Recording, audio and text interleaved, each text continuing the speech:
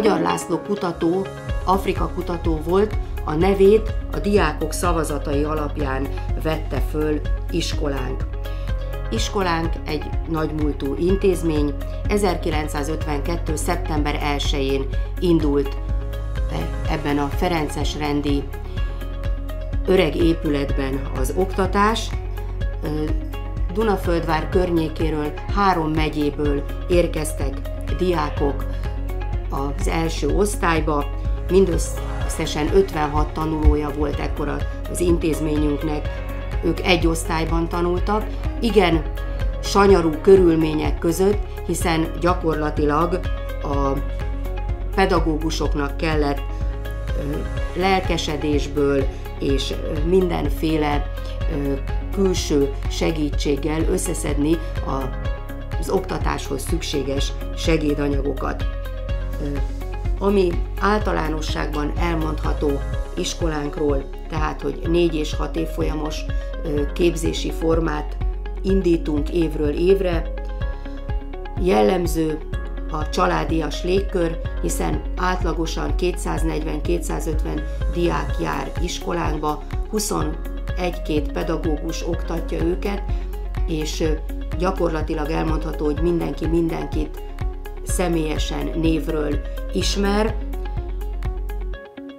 Híres iskolánk, és remélem jó értelemben, a családias elfogadó légköréről, illetve a családiasságba beletartozik az is, hogy úgymond dinasztiák járnak, vagy jártak iskolánkba, hiszen nem egy diák, mai diákunk van, akinek a szülei, illetve már a nagyszülei is iskolánkban érettségiztek.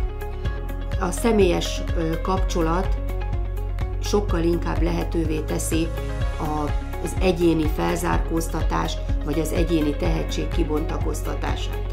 És a mindenkire külön-külön odafigyelő légkör, én úgy gondolom, hogy a mai gyerekek számára nagyon fontos, hiszen kívülről annyi rossz és annyi negatív hatás éri őket, hogy ezt mi én úgy érzem, itt ebben az iskolában igyekszünk kompenzálni, vagy igyekszünk megvédeni ezektől a külső rossz behatásoktól a diákjainkat. A képzésünk általános tantervű, ami azt jelenti, hogy a, az alaptantárgyakat tanítjuk, a kerettantervnek, illetve a nemzeti alaptantervnek megfelelően, és 11-12-ben a tanulók fakultációs csoportokban készülnek fel a közép, illetve az emelt szintű érettségi vizsgákra.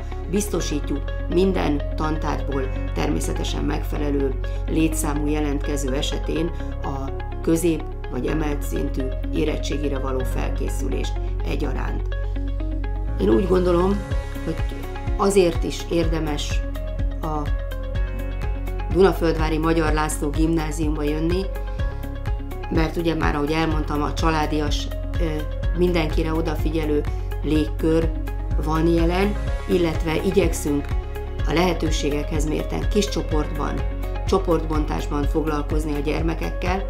A hetedikesek matematikából, informatikából, magyar nyelvből, illetve idegen nyelvekből csoportbontásban tanulnak, és természetesen majd 11-12-ben a fakultáción is kiscsoportos foglalkozásokkal készítjük föl, illetve a négy év folyamos képzésben is matematikából, informatikából és az idegen nyelvekből kis csoportokban, csoportbontásban oktatjuk a gyermekeket.